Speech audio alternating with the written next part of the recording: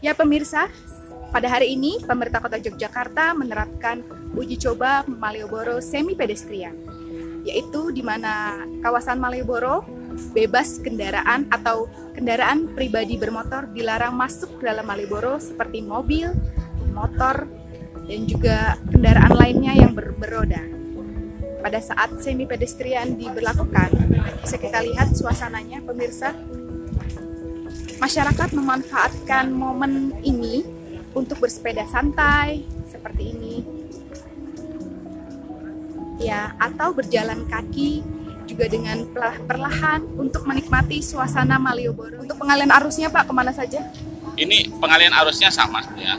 Jadi ini untuk sementara memang uh, kalau dilihat dari dari dari tren tren arusnya ini nanti paling paling tinggi tambahan arus lintasnya adalah jalur Surabaya sehingga uh, kayaknya yang paling padat antrian simpang ada di simpang uh, Serangan. Serangan yang dari arah arah selatan utara.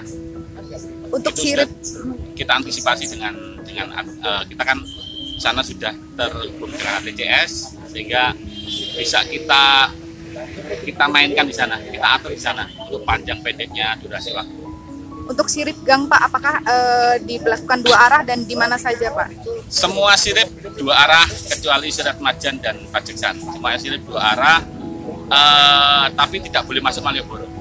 Jadi orang-orang yang masuk ke sirip itu hanya orang-orang yang punya kepentingan di sirip itu. Kalau tidak punya kepentingan pasti nanti baliknya mundur. Nah, pada saat semi pedestrian uji coba ini dilakukan, hanya kendaraan tradisional seperti beca ataupun uh, andong dan satu lagi adalah Trans Jogja yang hanya diizinkan untuk melintas di kawasan semi pedestrian. Dan uji coba ini dilakukan untuk mempersiapkan kawasan Malioboro full semi pedestrian yang kemungkinan akan diberlakukan uh, pada tahun atau akhir tahun 2020.